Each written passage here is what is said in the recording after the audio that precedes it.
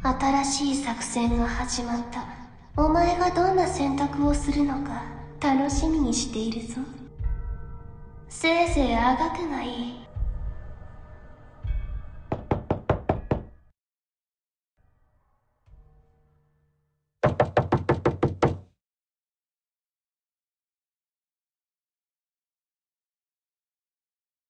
信じられない。まだ起きてないの？お部屋も散らかしっぱなしだし朝ごはんもまだ食べてない。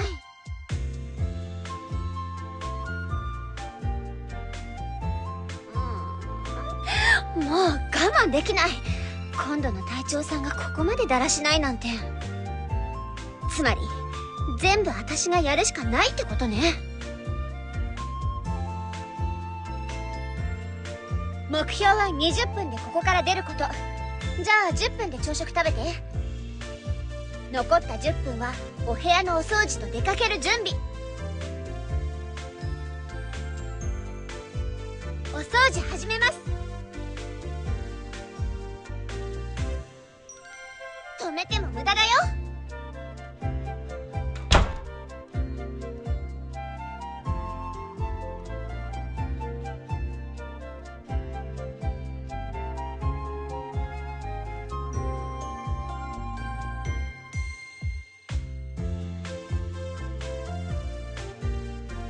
間がないから5分で済ませて。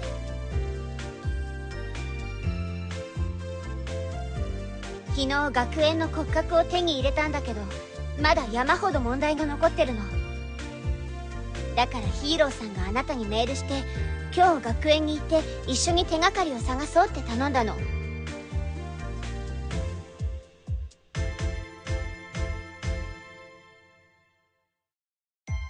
どうせ気づかないふりしてメールを読まなかったんでしょ今ならまだ間に合うから早く行ってきて。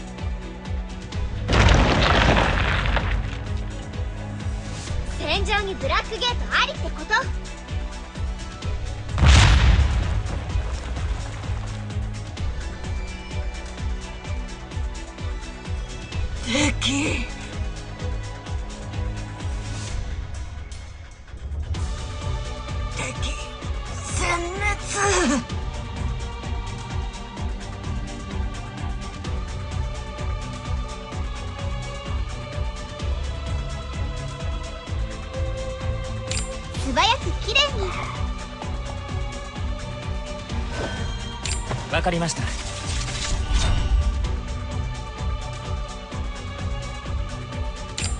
親父の出番だ。位置につきました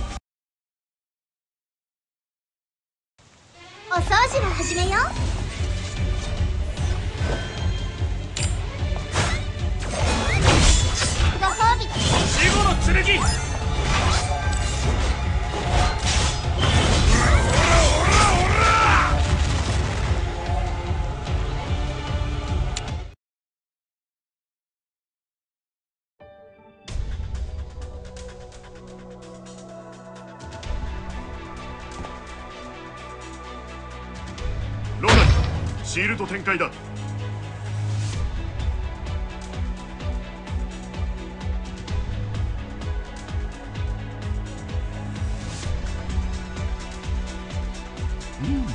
うん間に合った。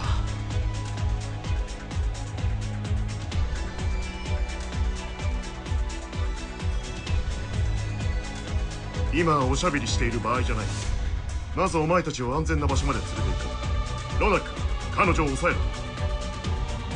了解。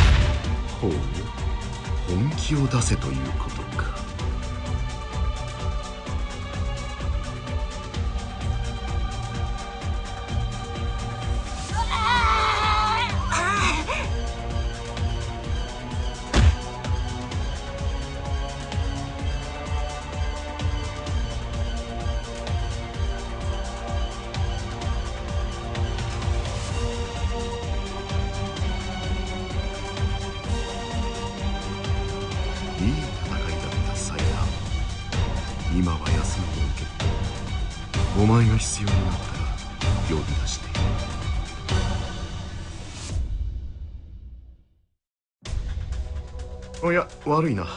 びっくりさせたかい？初めてリビングデッドを見た時私も君と同じ反応だったよ。知らないかい？人気使いは一般人とは違って体の中に原力というものが存在するんだ。原力は人間に超能力を与える。この力を手にするということは体内に次元爆弾を埋め込まれることと同じだ。原力レベルが高すぎても低すぎてもバランスは崩れる。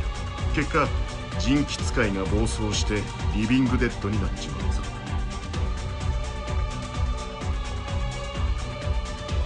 そうか。リビングデッドの存在さえ知らないのか中央庁でどのようにリビングデッドを処分しているのか知るわけがないな。リビングデッド化は要するに原力が暴走している状態だ。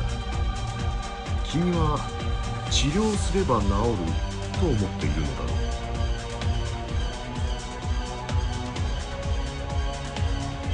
違います。リビングデッド化が一旦始まってしまうと回復するのは無理なの。中央庁のリビングデッドに対する処分方法は理性が完全に失われる前にその存在を消し去ること。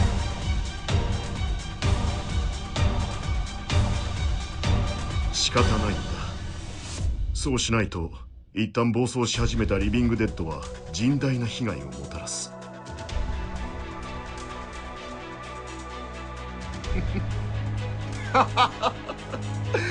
さすが君だな。ますます気に入ったぞ。では私の提案を聞きたまえ私だって仲間を一人も失いたくない。自分の手で彼らを始末するのも好ましくない。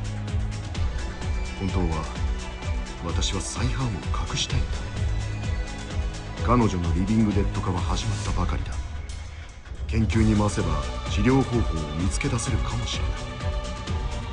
もちろんアントネーワには内緒だ。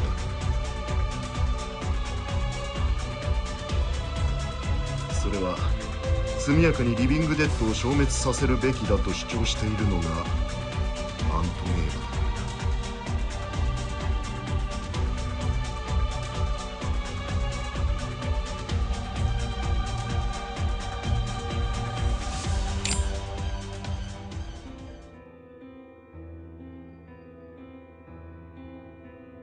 その件については気にしなくていい。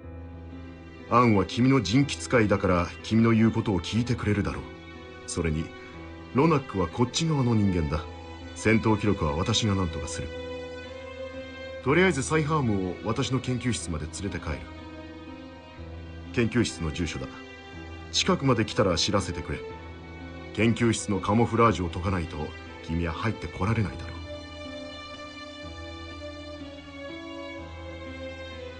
う。じゃ頼んだぞ。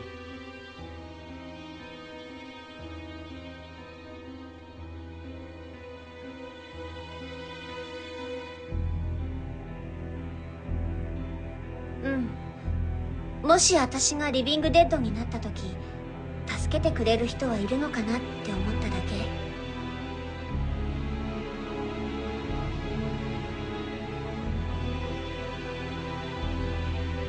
本当よ。人気使いがリビングデッド化することを最初に知った時アントネーワさんがこのルールを決めたの。それからみんな何も言わずにそのルールを守ってきたよ。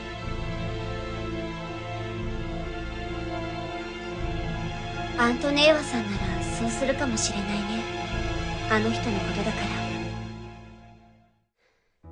最初はリビングデッド化した人気使いの浄化を試してみたんだけど無駄だったの。浄化は苦しみを引き延ばすだけ。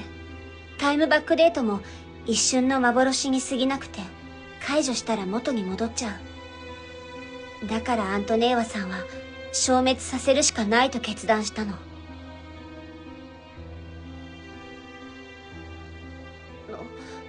私に聞いてどうするの？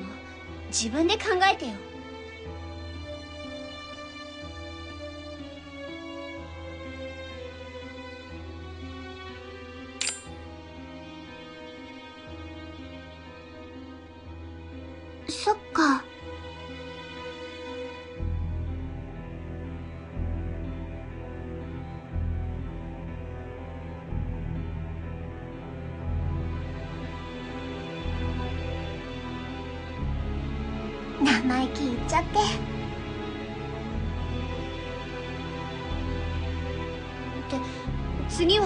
町へ行くのサイハームさんのことは誰にも言わないでよ。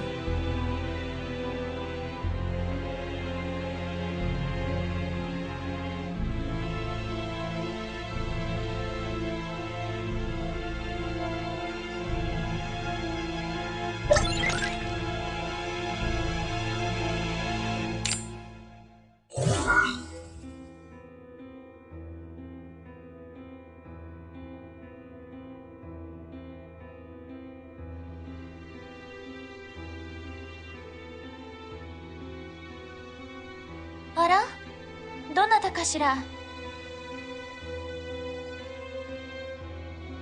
ちょっと待ってね。すぐ降りるから。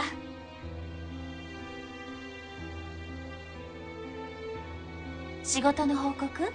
それとも何か質問でも？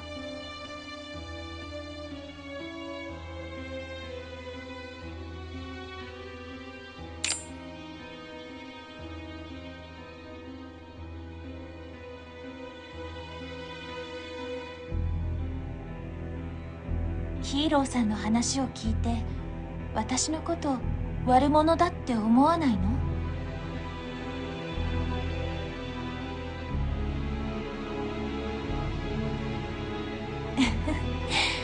ありがとう。でも例のルールのことは本当よ。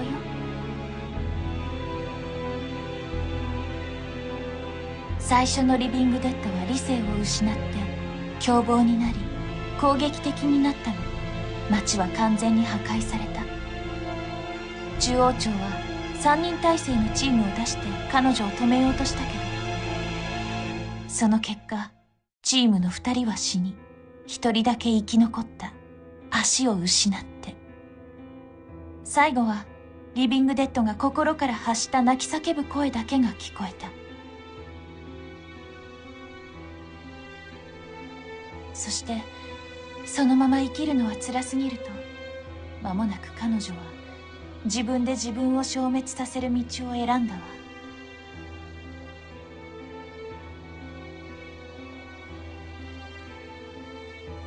じゃあ君ならどうする？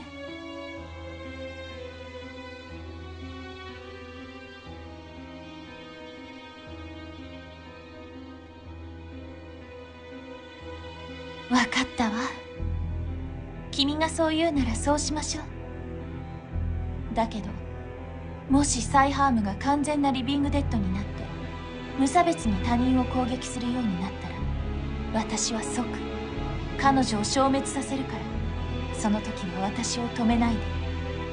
いいわね。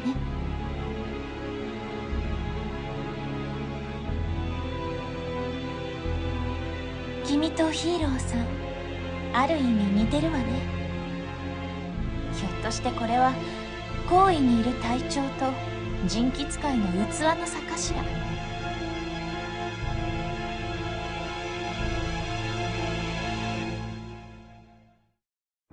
分かった。うまくいけばいいわね。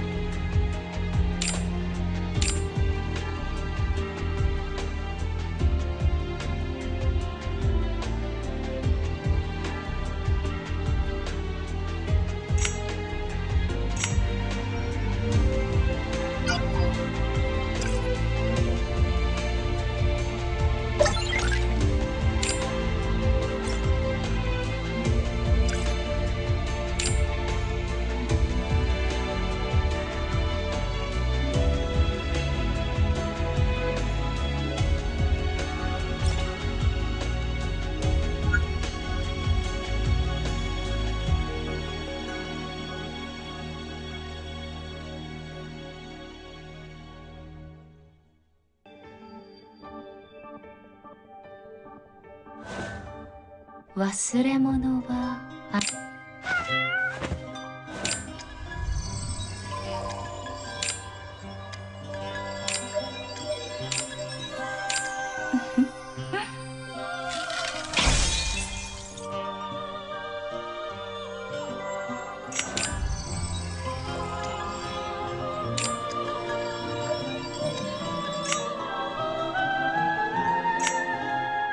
ではまたお越しになった。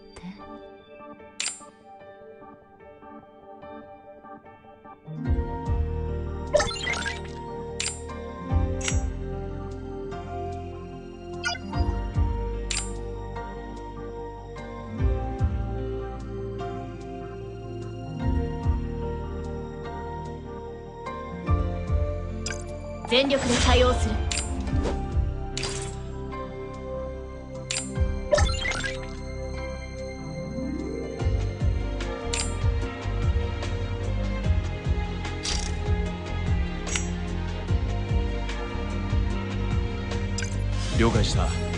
いつでもいいぜ。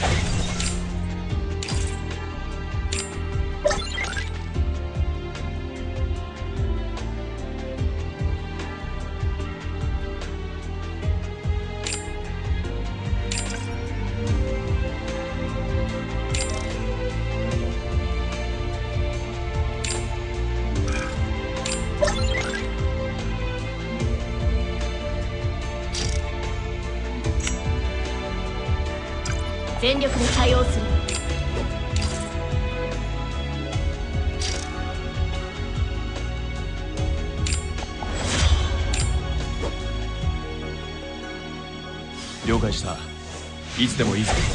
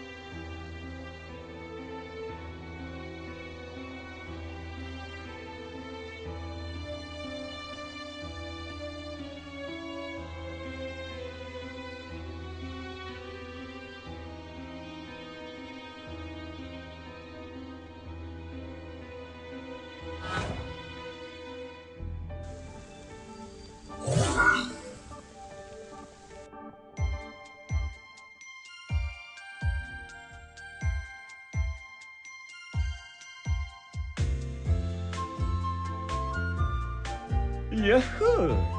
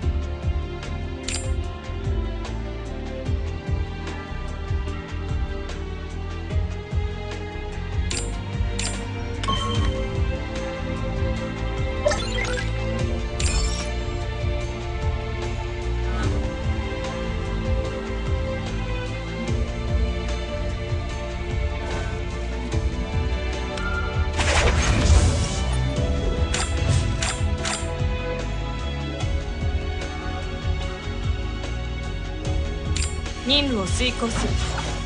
行ってきまーす。ラジャ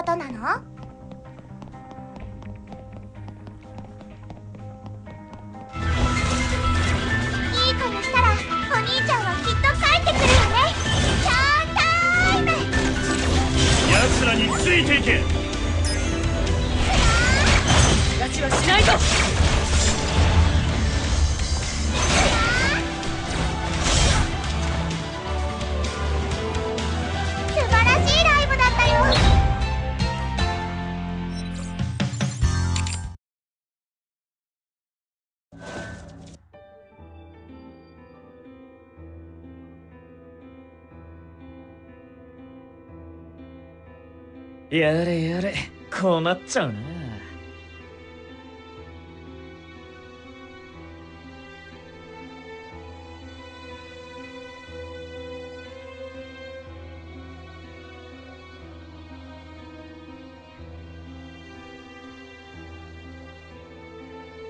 ああ。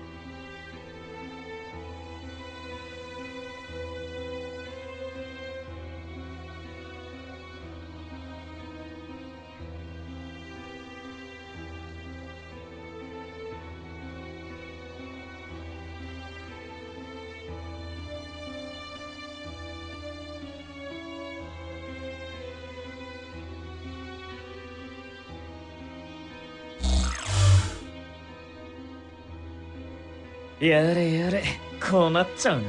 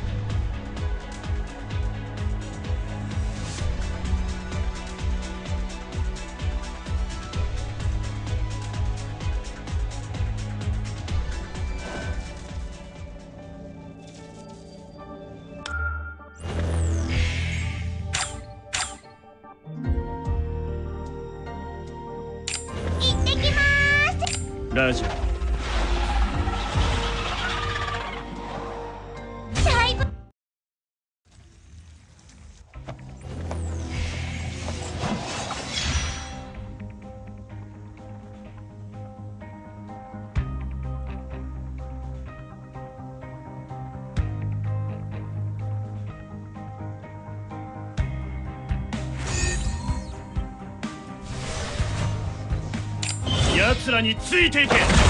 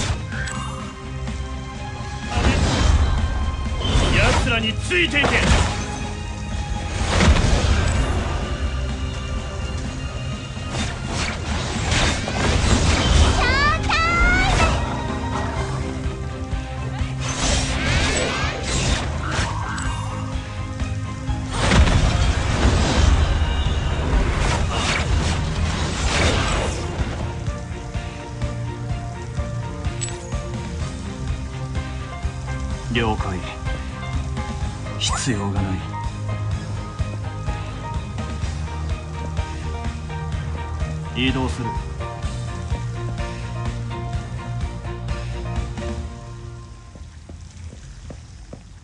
行くぞ。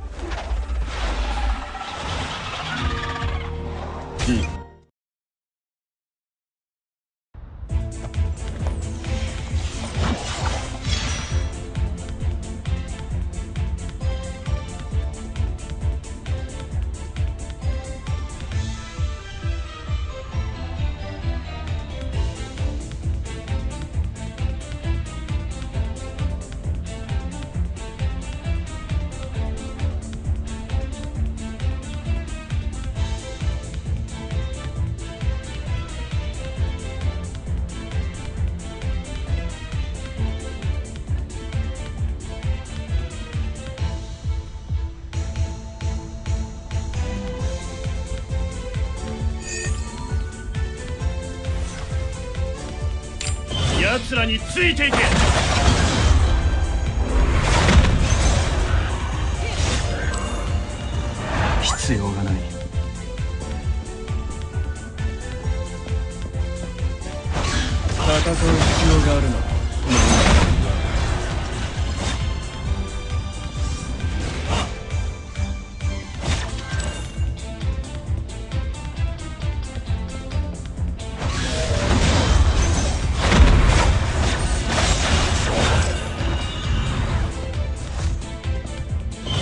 らについていけ。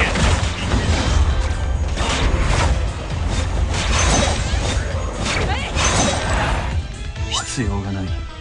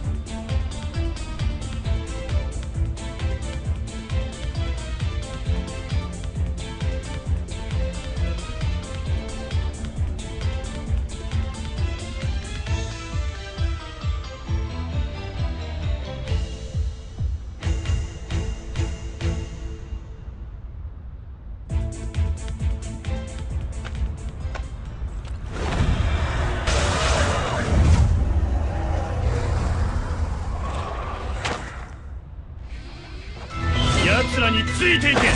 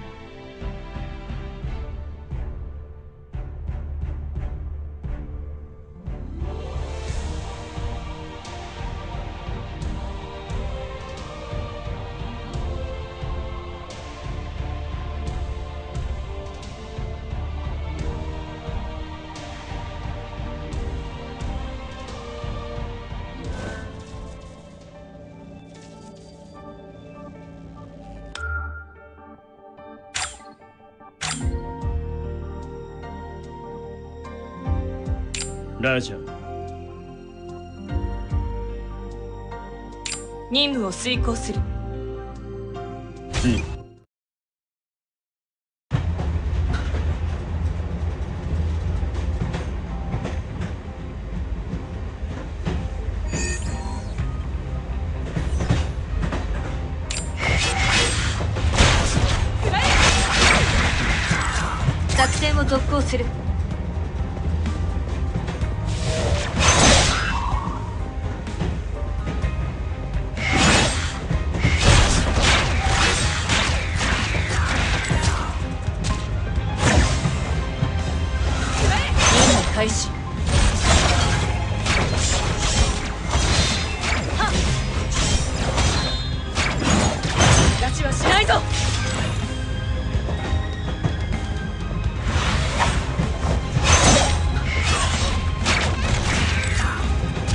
作戦を続行する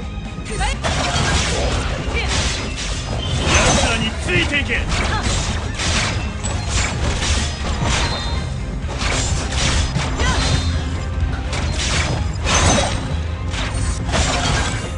作戦を続行する。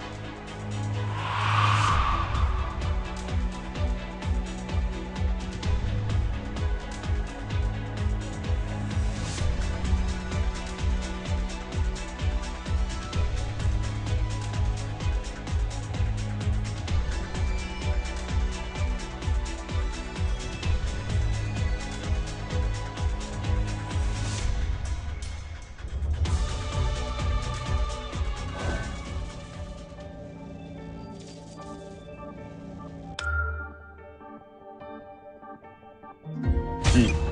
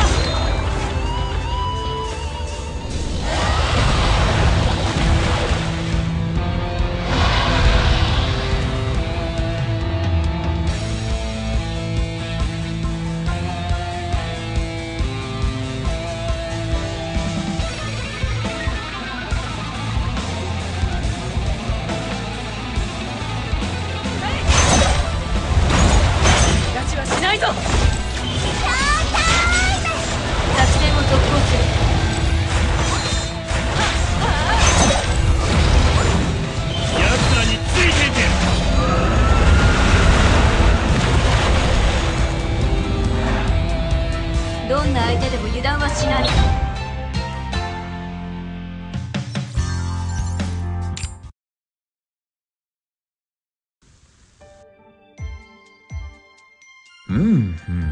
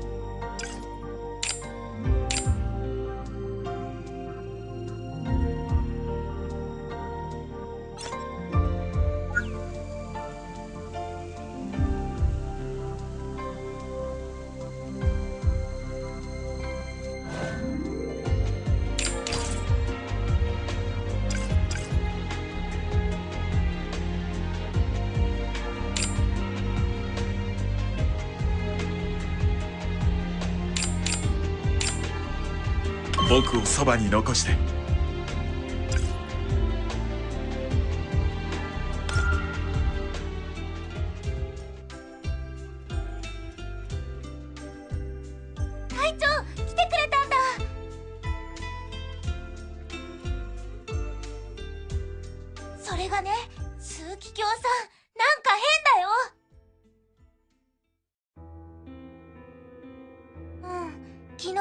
リーナたちにホーリースターのブローチをくれたでしょ？それをつけてからずっと見られてる気がするの。目が合った時リリーナに向かって笑ったんだけどあの人の笑顔嫌い。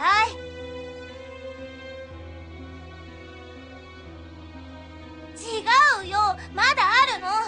今朝リリーナがこっそり遊びに出たらヒーロー隊長と枢機卿さんが一緒にいるのを見たの。それで2人を追ってここまで来たの。えっと2人が何を話してるのかは聞こえなかったけど2人とも様子が変だったの。枢機卿さんの顔施設に来た時と全然違ってた。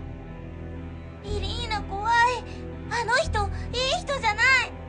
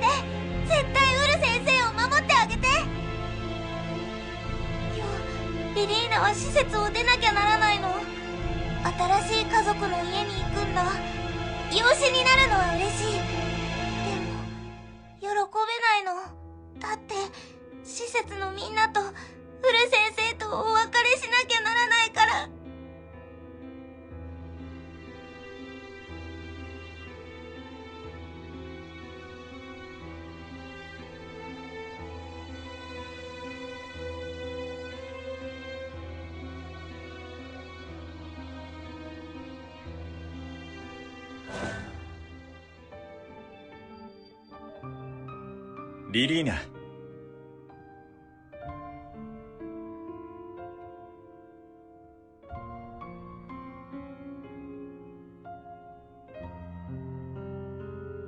ありがとう隊長。リリーナを送ってくれて。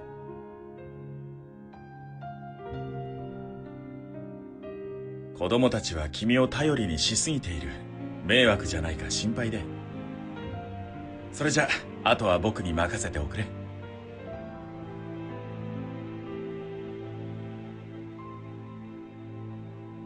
リリーナずっと探していたんだよ。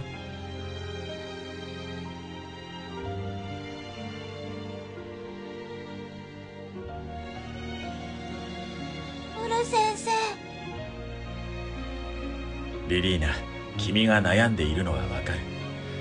でも施設を離れてもここは君の家だ。僕と他の子供たちも君の家族なんだよいつでも帰ってくるといい。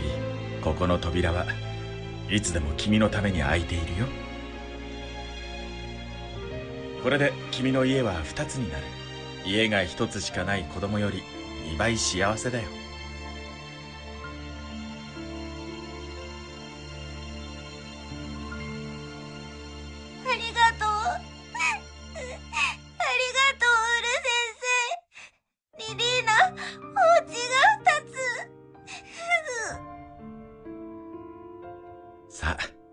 新しいパパとママに会いに行こう。向こうもずっとリリーナを待っているから。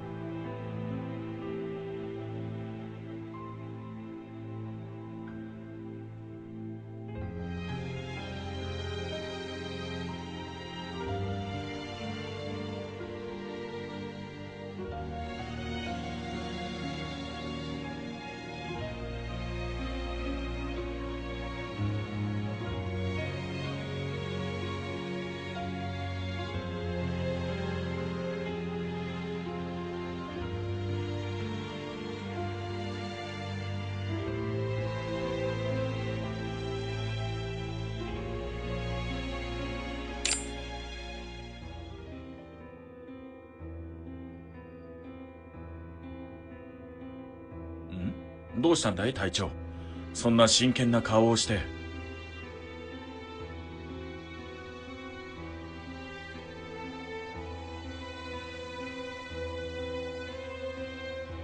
バカな子だ。君に僕を守るよう君に頼むなんて。あの子のお願いを真面目に聞き入れてくれたんだね。ありがとう隊長。子供の推測を確たる証拠とすることはできないがヒーローさんとイスカリオ教の密会は確かに怪しい。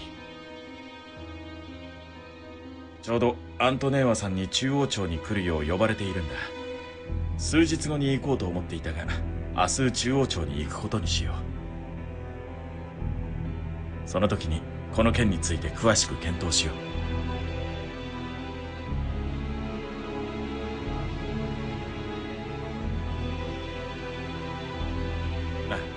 表まで送るよ。